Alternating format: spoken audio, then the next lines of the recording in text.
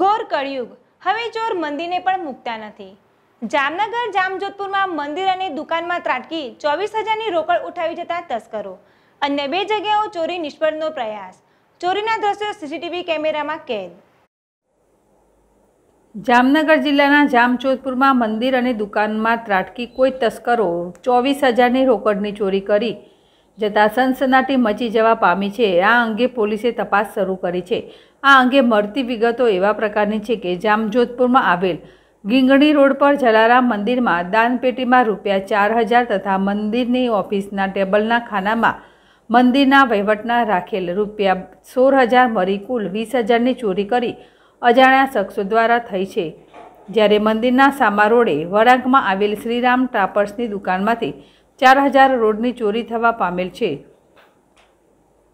આ ઉપરાંત મંદિરની સામે આવેલ ધવલ ગેરેજનું શટર ઉચકાવી ઓફિસના ટેબલના ખાના તોડી ચોરીના પ્રયાસ કોઈ તસ્કરોએ કરેલ છે. ઉપરાંત ગેરેજના કમ્પાઉન્ડમાં આવેલ માધવખોડ કપાસિયાની ઓફિસમાં પણ ચોરી કરવાનો પ્રયાસ કરી અંદર રહેલ ગાડલા સહિત માલસામાન તોડી નાખી ચોરીનો પ્રયાસ કરેલ છે. ચોરીના દ્રશ્યો સીસીટીવી કેમેરામાં કેદ થઈ ગયા છે. આ બનાવ અંગે પોલીસ તપાસ હાથ ધરી છે. હર્ષલ ખંદેડિયા જેડેશ ટીવી જામનગર.